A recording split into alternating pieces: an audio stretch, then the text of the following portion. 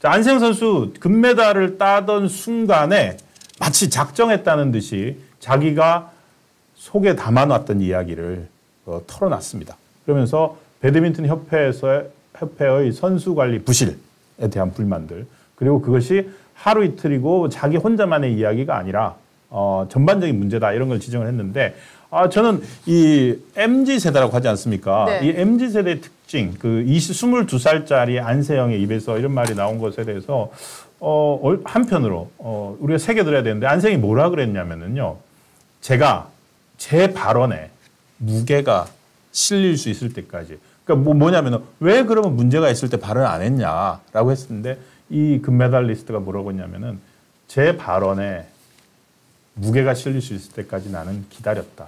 그러니까 어떻게 본다면은 작정하고 이 문제를 그냥 넘어가지 않겠다라는 의사를 강력하게 표시를 한 거죠.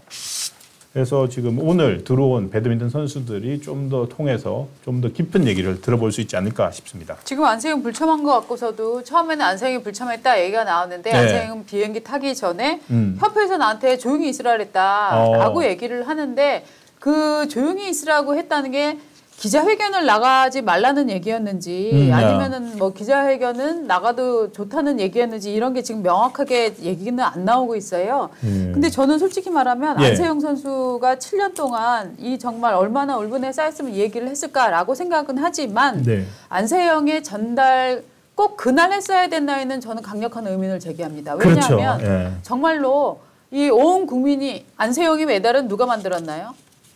안세영 혼자만 만들었다고 볼 수는 없습니다. 사실은 국가대표 시스템이라는 거는 국가의 세금으로 이 선수들을 지원하고 엘리트 체육을 지원하고 있는 거기 때문에 안세영 선수가 아무리 뛰어난 선수라고 해서도 개인 자격으로는 정말 그 비용이나 이런 걸 감당하기 힘들었을 겁니다. 그런데 마치 이 국가의 지원이나 시스템의 지원이 하나도 없이 어, 했던 것처럼 어, 이렇게 이 국가 이 지원 시 대표 시스템을 완전히 부정하는 얘기를 전 할 수도 있다고는 생각합니다만 바로 그게 금메달을 따서 온 국민이 환호하던 바로 그 순간이었어야 했을까. 그 다음에 그 다음날 기자회견에서 봤지만 은메달 딴 선수들은 죄인입니까? 그 선수들 분위기가 굉장히 차, 저참 침울했잖아요. 침울했죠. 정경은 반대로, 동메달리스트. 예, 이거는 예. 동료에 대한 음. 예의도 저는 좀 부족했다라고 생각을 합니다. 아, 예. 예, 예. 그래서 그렇게 좀 또 이제 우리 안세영 선수를 또 이렇게 또 뭐 지친 그 질타할 건 질타해야죠. 네. 근데 이것 때문에 어쨌든 앞으로 어떤 일들이 불거질지 모르겠는데 어, 여러 가지 얘기들 나왔습니다. 근데 제가 제가 약간 좀 저는 그 뭐라 그래야 돼요? 제가 좀참 네. 그 저한테 와닿았던 얘기는 네. 해외 나갈 때 네. 우리 선수들 있지 않습니까? 네, 왜냐면 네. 제가 과거에 제가 네. 스포츠 기자는 안 했지만 운동 선수들, 뭐 펜싱 선수들 네. 직접 접해 본 경우에 따르면 네. 이 부분이 제일 안타까웠는데 해외 나갈 때 말입니다. 네. 임원들은 비즈니스를 이용합니다. 아, 그건 이제 과거 기사예요. 과거 기사인데 네, 네. 임원들을 이용하고 그다음에 그 2018년이에요. 2018년 경기 때도 선수들은 이코노미를 타고 그다음에 임원들은 비즈니스 비즈니스를 타고 갔다. 그 불과 6년 전이거든요. 아니, 그때 그래서 배드민턴 논란이 협회들. 됐었죠. 그 얘기가 그러니까 다시 나오고 있고. 이 협회가 얼마나 거지 같은지는 저희가 조금 이따가 네. 정리를 해서 말씀을 드릴 그 텐데요. 배드민턴 협회예요. 그리고 네. 오늘도 이번에도 들어올 때 오늘 안세영 들어왔잖아요. 네, 네. 배드민턴 협회는 또 같이 안 들어왔어요. 네, 따로 들어왔어요. 따로 들어왔다는 네. 말입니다. 따로 들어오면서 보십시오. 그 지, 비즈니스 예약, 예약 을 해놨다가 네. 집 들어올 때는 또 이코노미 뭐 이런 거또 이코노미로 바꿔 타고 들어왔대요. 이코노미 바꿔 타고 들어오고 또 현지에서 급하게 예약 바꾸려고 그러면 네. 돈이 얼마나 듭니까? 아이 그 같이 들어오지. 뭘 피하려고 안세영이랑 그다음에 선수들이랑 같이 안 들어. 나 네. 이게 그것도 코미디예요. 아, 협회가. 돈을 그렇게 써도 됩니까? 네. 그 아시잖아요. 파리 지금 프랑스 파리에서 현지에서 바로 티켓팅 하려면 돈이 어우, 엄청 엄청 드죠. 네. 거기다가 비즈니스 아마 비즈니스였을 거로 추정됩니다. 그것도 취소했을 거 아니에요. 네. 그 무슨 돈을 그렇게 씁니까? 그러면서 선수들은 이코노미 타고 들어오고. 맞습니다. 저는 이 안세영 선수가 지적한 문제에 대해서는 깊이 공감을 하는데 특히나 이 선수의 부상 관련해서는 오히려 선수가 괜찮다고 해도 선수가 욕심에 저 그냥 나가도 돼 열심히 할라고 해도 아니야 네 부상이 어느 정도인지 제대로 한번 체크를 해보자라고 해서 오히려 선수들을 한 번 써먹고 버릴 게 아니잖아요. 우리 선수들은 진짜 보물이잖아요. 그렇죠. 그런데 지금 선수가 내가 지금 부상을 당해서 힘들었었는데도 협회에서는 그냥 대충대충 넘어가려고 했었다. 그리고 소문 안 나게 해라는 데만 집중을 했었다.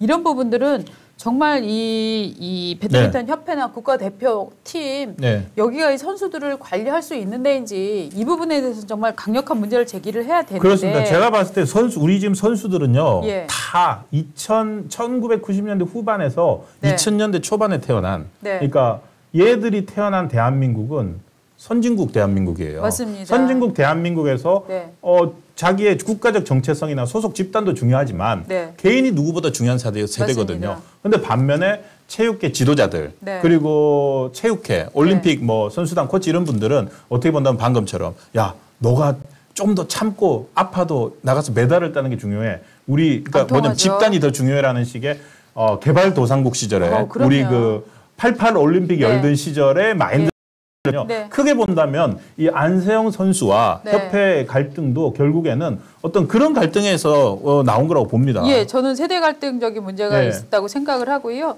이 표출 방식에 대해서 이제 여러분들이 제 얘기 때문에 감론을박을 하고 계시는데 전 이런 생각은 합니다. 안세영 선수의 플레이를 보면서 네. 정말 모든 분들이 감격, 저도 정말 감격했거든요. 너무 너무 잘했죠. 어쩜 저렇게 열심히 하나 네. 싶어서 막 네. 마음이 짠하기도 하고 너무 좋았는데 네. 근데요, 이 선수가 그날이 아니라 금메달을 안고 귀국해서 그 얘기를 했으면은 언론이 주목하지 않았을까요? 저는 그런 생각은 안, 그렇게는 생각 안 합니다. 그 잔칫날 재뿌린 거는 네. 대한민국 어딜 가도 네. 좋은 소리 못 듣는다는 거죠. 잔치상에 재뿌리면은 안 되지. 네. 그 말씀하시는 거죠. 예. 네, 그래서 어, 저는 이거를 네. 저는 어, 네가 꼰대 생각이다라고 말씀을 하시는 분들도 계시겠지만 네. 저는 솔직히 말하면 이거는 국민에 대한 예의자 동료에 대한 배려라고 생각을 합니다. 맞습니다. 왜냐하면 다른 선수들이 네. 계속 경기를 해야 되잖아요. 그러니까요. 예, 그런 측면에서 이, 이 개인을 집단에 비해서 뒤에 두는 것도 문제는 있지만 개인이 집단을 배려하지 않는 것은 이것은 정의인가라는 문제를 전 제기하고 싶어요. 그렇죠. 우리 생활 현장에서 MZ들한테 할 말은 해야 됩니다. 네. 뭐, 야, 니들은 역시 다르구나. 이게 아니에요. 네. 네. 지적할 건 지적을 해야 된다고 자, 생각을 합니다. 여러분들이 지적하시고 자, 있는 네. 사실 진실은 이제 안세영 선수가 들어오면 더 조목조목 네. 밝혀질 것 같아요. 안 선수가 지금 말을 좀 아끼고 있더라고요. 들어와서 아주 조목조목 문제점들을 지적을 해주고 지금 우리 기자들도 그렇고 예. 지금 인천공항에 이미 많은 기자들이 나가 그럼요. 있습니다. 네. 그게 정말로 개선되는 이번에 정말 계기가 됐으면 좋겠는데 네. 문제는 뭐냐면은 이 네. 배드민턴 네. 협회 저도 막 찾아봤거든요. 네.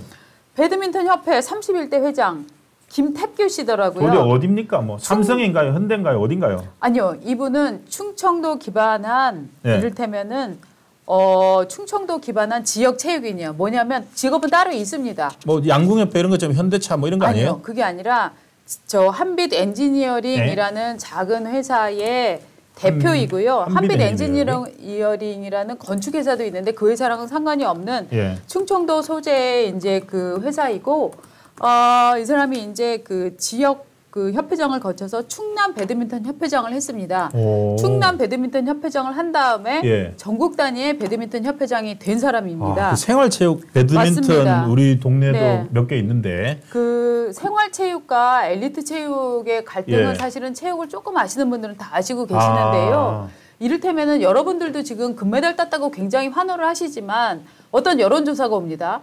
자, 금메달 따는 엘리트 체육에 국가 예산을 음. 지원해야 되겠습니까?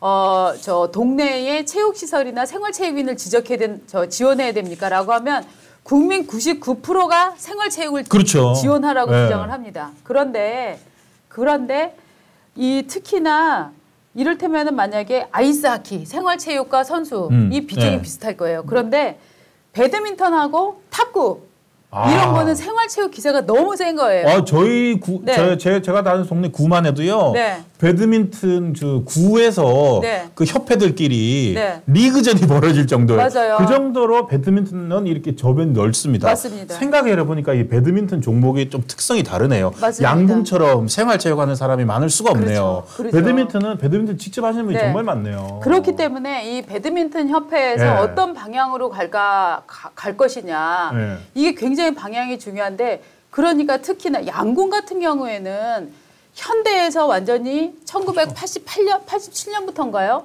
아주 전폭적인 지원을 해왔기 때문에 이 일종의 그 행정, 그렇죠. 그, 그 안에서의 체육행정이라는 게 정말 정확히 지원 시스템이 정확히 잘 유지되고 있는데 이 배드민턴 같은 경우에는 대기업이 이제 뭐 회장을 하거나 하진 않아요. 그러니까 이렇게 뭐 되면서 대기업일 줄 알았는데 예, 아니에요. 예. 이렇게 되면서 생활 체육을 강화해야 예. 된다. 아, 올림픽 나가는 선수만 왜 따로 예. 특혜를 주냐 하고라는 목소리가 커질 수 있는 그렇- 이제 분위기가 되는 거죠. 그런 분위기가 네, 있었겠군요. 그렇기 때문에 네. 사실은 이 배드민턴 이 협회에 속해 있는 배드민턴 대표 선수들은 실제로는 양궁이나 이런 데 비해서는 배려를 못 받는 게 맞습니다. 그런 느낌이 알겠네. 안세영 네. 선수가 아, 어떻게 본다면은 양궁이나 다른 종목 선수들에 대해서 네. 개인 관리 들어가고 네. 하는 걸 보면서 아, 나도 좀 그런 걸 받았으면 좋겠다 네. 생각을 했을 수가 있겠네요. 정말 그러고 보니까 종목 차이 크네요. 제가 알고 있는 펜싱 선수들 몇 명 있거든요. 예, 예. 국가대표였는데 네. 그 펜싱 국가대표들은 올림픽 때 잠깐 지금은 이제 올림픽 때도 그 우리 유명해졌는데 네. 제가 한 10년 전에 만났던 펜싱 국가대표들이에요. 아, 평소에 올림픽이 아닌 각종 이제 월드 투어를 다닐 때 네, 네.